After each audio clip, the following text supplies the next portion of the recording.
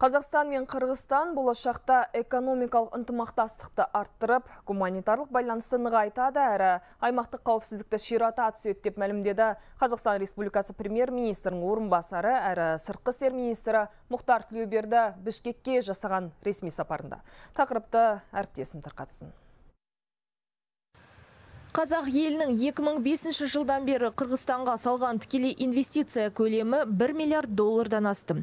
Көрші мемлекеттің сыртқы сауда айналымында Қазақстан үшінші орында тұр. Бірлескен кәсіп орындар шекаралық сауда саттық, инфрақұрылымдық жобалардың жұмысын реттейтін 158 екі жақты келісімге негізделген құқықтық база жасалды. Ол ТМД елдер бойынша ең ірі базалардың бірі саналады.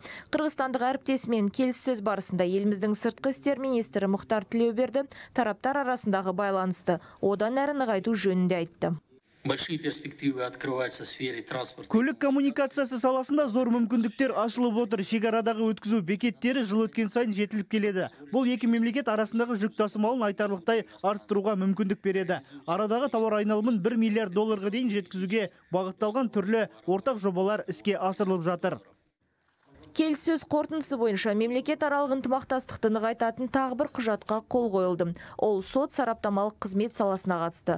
Құжат қос мемлекеттің тиісті сектордағы сарапшыларының өзара әрекет етіп тәжірибе алмасуын көздейді. Тараптар сондай ақ аймақтық қауіпсіздік мәселесін де талқылады. Мысалы жуырда қырғызстан мен тәжікстан шекарасында орын алған қарулы қақтығысты бейбіт жолмен реттеу туралы айтылды.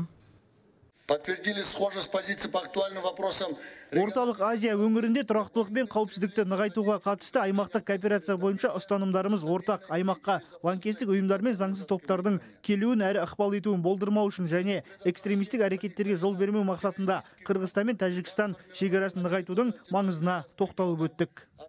Эпидемиологиялық шектеулерге қарамастан биыл Қырғызстанда Қазақстан мәдени күндерін өткізу жоспарланып отыр. Болашақта Нұрсұлтанда Манас, ал Бішкекте Абай ескерткішін орнату жоспарда бар. Жұлдыз Атагелдиева, Бақыт Чермашев, Хабар 24, Бішкек, Қырғызстан.